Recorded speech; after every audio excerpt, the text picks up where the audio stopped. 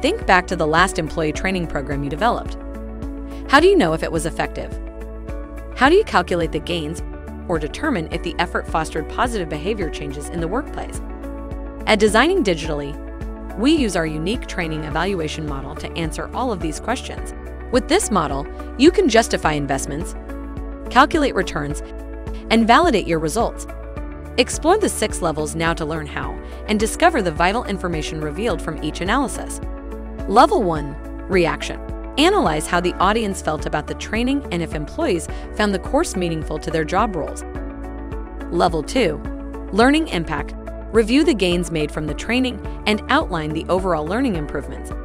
Next is Level 3 Application Assess the degree to which employees can apply what they learned and determine if correct behaviors are performed post training. Level 4 Results Survey how the program benefits your organizational success and learn the steps needed for continual growth. Level 5 ROI or Return on Investment Calculate the financial return produced from your training effort in comparison to the total investment. And lastly, Level 6 ROE or Return on Equity Calculate the quantifiable value and outline the returns generated from stakeholder investments. With the Designing Digitally Training Evaluation Model, you know your employees are getting the training they need in order to consistently grow and evolve your company.